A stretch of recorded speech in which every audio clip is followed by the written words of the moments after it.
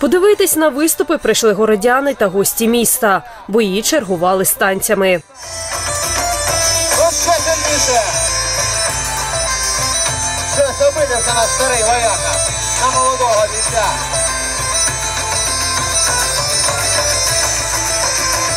Що, доб'є він його зараз чи ні?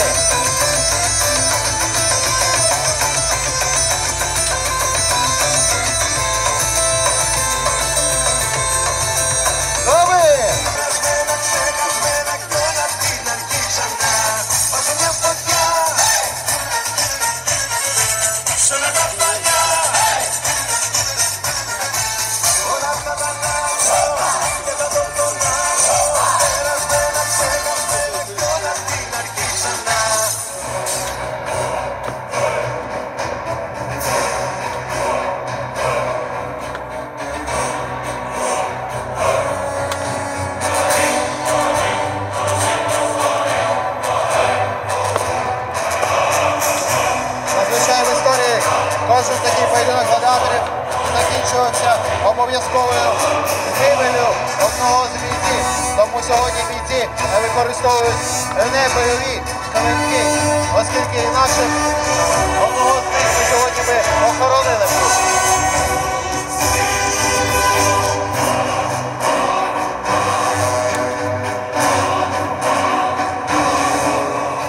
Місце, де сьогодні тривали бої, розташоване поруч із археологічними пам'ятниками.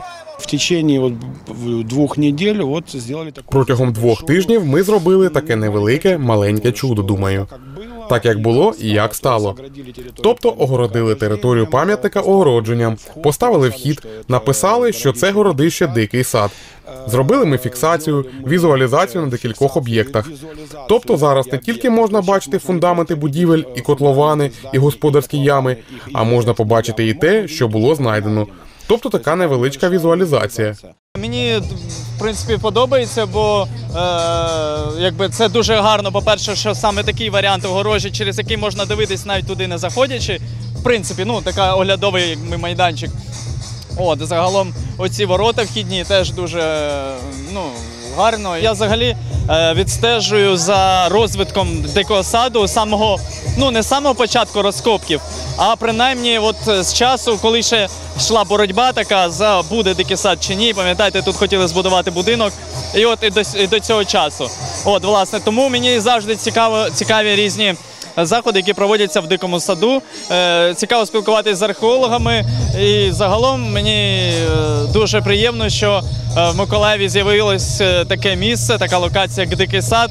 Е, Унікальна насправді в Україні і насправді у Європі, тому що ми знаємо історію дикого саду. Ми не будемо про неї багато говорити. Коротше кажучи, це унікальне місце, і ми маємо пишатись Миколаївці тим, що його приводять до ладу. За, за цей час змінилось насправді дуже багато.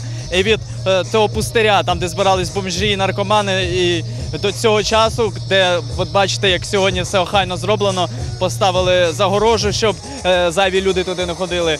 Проводяться розкопки, вже майже все розкопали. Ну тобто е, зараз це місце просто е, має бути е, привернути до себе туристич, туристів, так і зробити Миколаїв ще більш туристично привабливішим.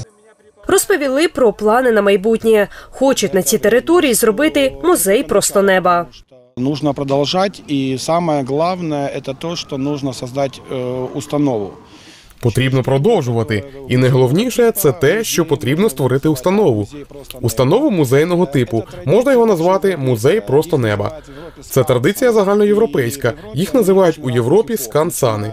І в Європі вони дуже різних епох, починаючи від первісних часів і закінчуючи вже етнографічними моментами. І я думаю, що Миколаїв в цьому плані має великі перспективи, тому що жодне місто України не має своєї історичної частини, центру історичної частини свого сучасного міста. Не мають ось такий об'єкт. Скільки саме потрібно виділити коштів на музей просто неба, не говорять, але обіцяють докласти зусилля, аби він з'явився. Євгенія Голубова, Юлія Кускова, телевізійні новини Миколаївщини.